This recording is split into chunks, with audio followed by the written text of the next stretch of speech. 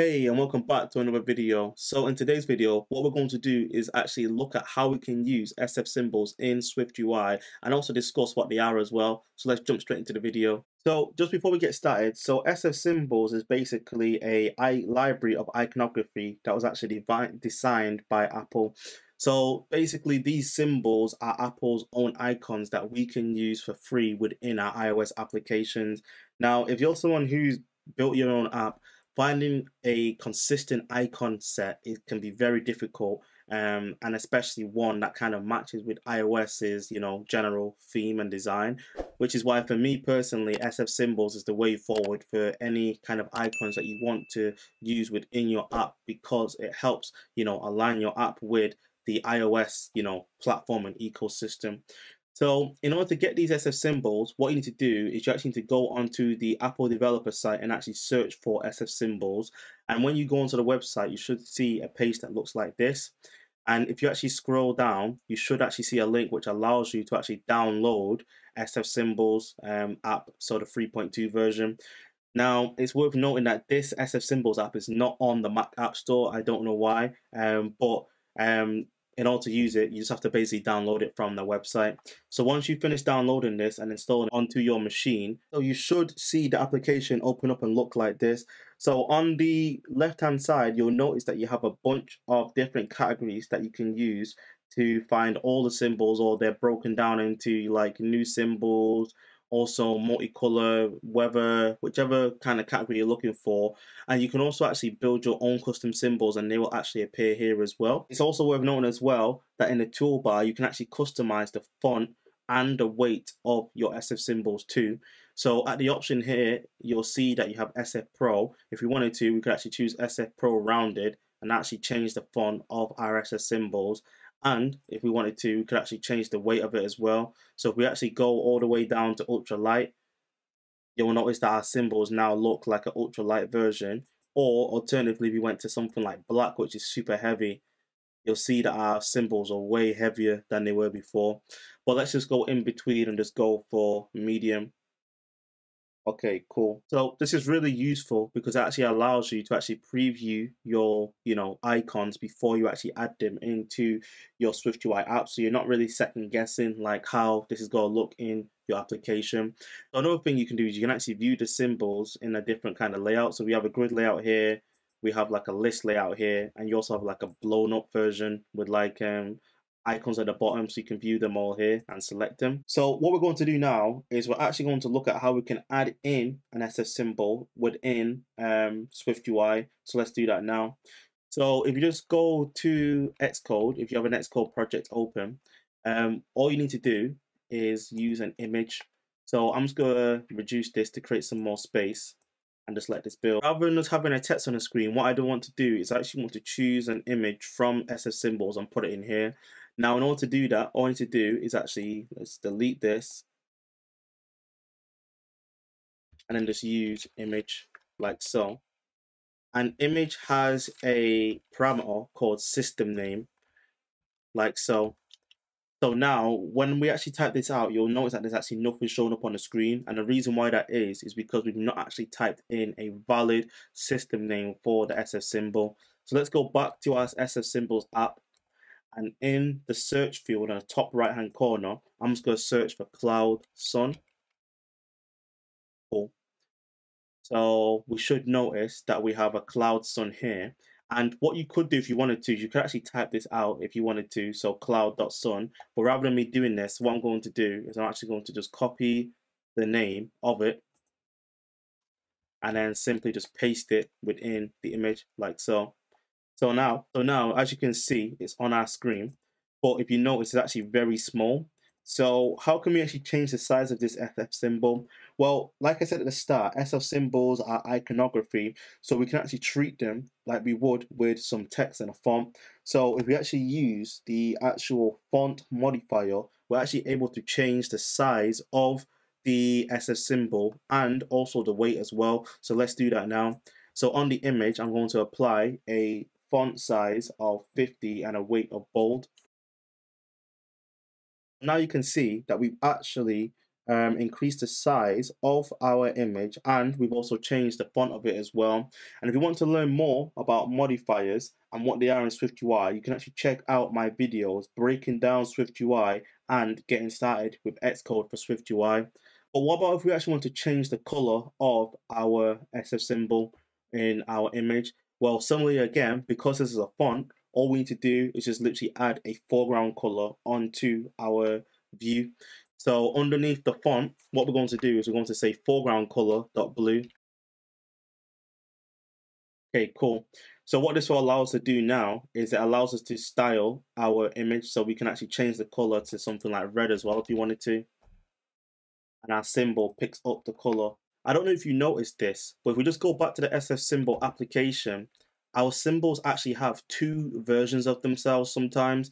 So you'll see here that we have cloud.sun and we also have cloud.sun.fill. So these are actually two alternative versions of the same SF symbol. Now what we could do is if we wanted to use the alternative version where it's using .fill, we actually could just literally just change the text here to .fill like so. And you'll notice that it actually automatically, you know, updates it for us. But starting with iOS 15, if your application supports iOS 15 only, we can actually use a new modifier called symbol variant. So let's use that now. So we delete the fill from the string. Underneath the foreground color, we can actually say dot symbol variant, and we can actually add in dot fill like so. And now you'll see that it actually picks up Alternatively, sometimes what you can have is you could actually have an SF symbol next to some text and this can be done using a component called label. So what I'm going to do is I'm actually going to just type out the um, label now and I'm going to just show you um, in a VStack and then we'll add the modifiers onto them individually. So let me just type this out now. So before we get started, one thing I just want to make note of is notice how on the actual VStack I've actually applied the modifiers onto the VStack and all the children within that VStack have actually inherited the styles that I've defined. So they've all inherited the font and the foreground color on them.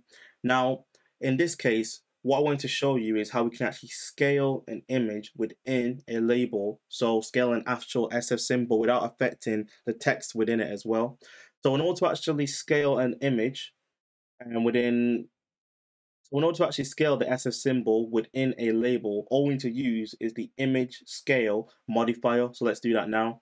So if I just say dot image scale small, you should notice that my text has stayed the same. My SF symbol has gotten smaller. Now, you can actually see all the possible sizes that we can use for our image scale, again, by just simply holding down the command key on our keyboard and selecting small, and then going to jump to definition.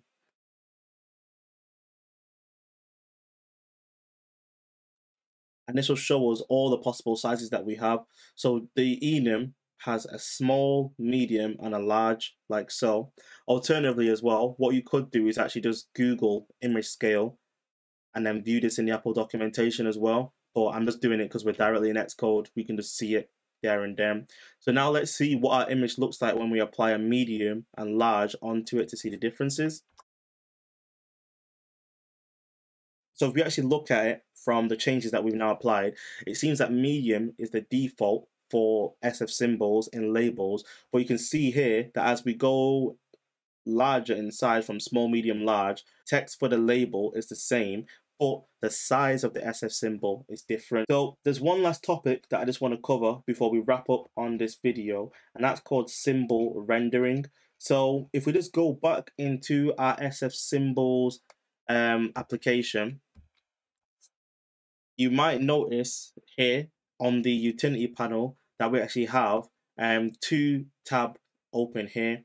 You notice here that we actually select our fill option. It actually tells us on the information the availability is monochrome, hierarchical, palette, and multicolor. So what is this? So these are the four different rendering modes that you could actually get for this symbol if you want to display it in you know four different styles if you actually want to preview these styles, um, SF Symbols makes this really easy for you. So all you need to do is actually just hit the paintbrush button here on the right hand side.